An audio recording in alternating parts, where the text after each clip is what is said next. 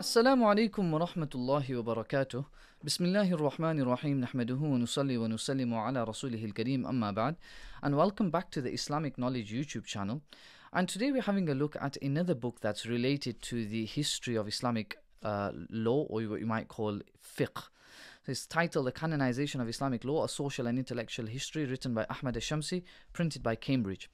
Now, this book essentially follows the life of what you may who you may refer to as one of the most important, if not the most important person when it comes to the history of fiqh.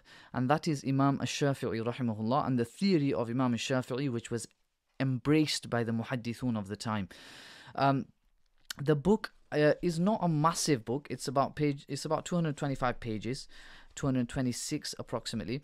Printed originally in 2013, and most scholars will have already had access to it or have read it already. But I want to speak from a student's perspective here. So if you're in perhaps your fourth or fifth year of Islamic studies, or you know anywhere similar to that i would say that this book will be a good read for you. Now the only issue is certain places the reading is a bit challenging in the sense that the words used may challenge you a little bit and you may have to pick up a dictionary but don't feel shy to do that and inshallah you will learn some new interesting facts in this book. Now interestingly this book essentially is following the life of imam shafi now we know that imam shafi'i rahimahullah was born in gaza moved to makkah then studied under imam malik in medina this was at a time after which uh, he then later went to Yemen. But before this time, before he studied under Imam Malik, Imam Muhammad uh, the student of Imam Abu Hanifa rahimahullah had already studied under Malik many many years ago. So now back to Imam Shafi'i when he now goes to Yemen, he goes from Imam Malik rahimahullah back to Makkah to Yemen and there's a bit of back and forth in the middle but then at one point in approximately 183 Hijri he travels to Baghdad and he's actually taken uh, and accused of a rebellion and he for the first time meets Imam Muhammad ibn al-Hasan. Right now, remember Imam Muhammad's already studied under Imam Malik. So when Imam Shafi comes to Imam Muhammad, he's coming as essentially a Maliki. He's behaving and talking uh, and breathing like a Maliki. So Imam Muhammad kind of knows how to debate with him. So the author on page 10 kind of speaks, when he discusses his book a little bit, he speaks about how Imam Shafi'i rahimahullah, through the debates that he had with Imam Muhammad, kind of opened his mind a little bit and it kind of made him understand that there are certain things maybe of Imam Malik's approach that he's already embraced that he needs to maybe look at again. So he says here, these Iraqi debates had a formative impact on Shafi thought. So, so that doesn't mean he started agreeing with Imam Muhammad. He just started to realize perhaps both are wrong. Perhaps the Iraqi approach is wrong and perhaps Imam Malik's approach was wrong. And therefore he came up with his own theory. And we're going to come across that theory and how important that was. So in particularly, they shaped the development of his ideas about the respective roles of hadith and the commu- and communal consensus. Uh, in jurisprudence and contributed to his gradual estrangement from his erstwhile teacher Malik.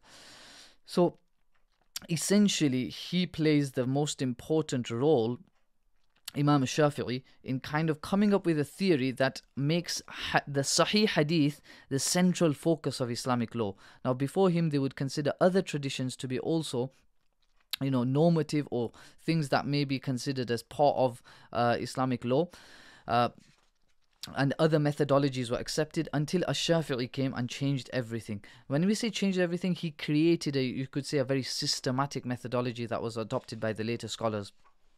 So, um, a really, really beneficial part, by the way, is on page 168 to 169, wherein he speaks about the different theories on Islamic law. Uh, the first one by Joseph Schacht, uh, which is that there were two ancient schools. Firstly, you had the school of Kufa or the school of Iraq, and then you had the school of Hijaz or the school of Medina. Um, which then later became personal schools. Then he puts speaks about the second theory, which is George Makdisi and his student Christopher Melchert, uh, who speak about the uh, ancient schools, then the personal schools, and then they add one more, which is the classical or guild school.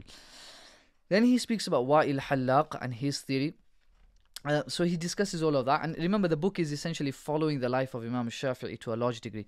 And the best part, and one of the most you know profound parts of the book, is where he speaks about, you know, how the Ahlul Hadith and the Ahlul Ra'i had a slight ikhtilaf on, you know, you could say slight, but it was pretty major on certain issues where the Ahlul Ra'i were really, really good at fiqh and, you know, kind of problem solving.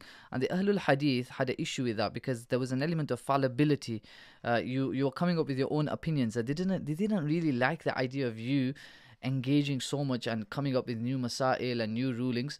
So essentially the Ahlul Hadith had a choice. When Ash-Shafi'i came, he gave them an option, you could say, that you can still let Hadith become the focus of your methodology, but you need to engage in fiqh now.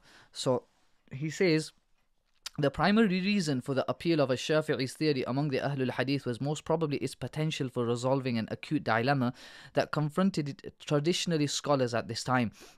This was the seemingly unavoidable choice between, on the one hand, being hopelessly outgunned in debates with the Ahlul Ra'i, who, as seen in chapter 1, could draw on a sophisticated arsenal of argumentative strategies, or on the other hand, adopting the latter's legal reasoning but thereby transgressing against their own principles by, as they traditionally saw it, ascribing fallible human opinions to God and His Prophet. And essentially, the Ahlul Hadith kind of adopted a Shafi'i's approach, uh, and then which he had kind of codified in his book Al Risala. And this became, you could say, uh, doctrine to, for a lot of them, and this became the main kind of dogma for most Muslims. The Ummah kind of accepted Imam Shafi'i's approach, and therefore Ulum al Hadith is forever indebted to Shafi'i as he kind of connected the fields of Hadith and fiqh together.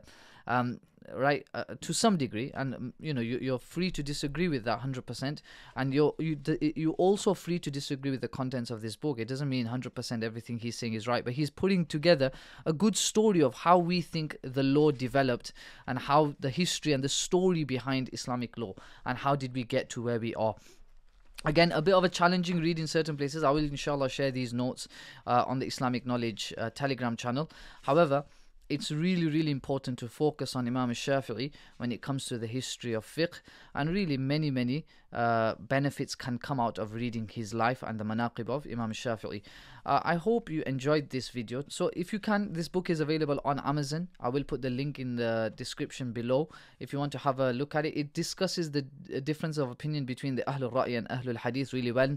It speaks about Imam Malik's Muwatta and what he was trying to do, and essentially how Imam Shafi'i had adopted or he was in line with the approach of Imam Malik uh, before he came to Baghdad, and it's only after he came to Baghdad and had the debates with Imam Muhammad, the Iraqi debates, as the author calls it, that you could say he developed a different theory altogether. And that's why this book is really, you know, a fantastic read.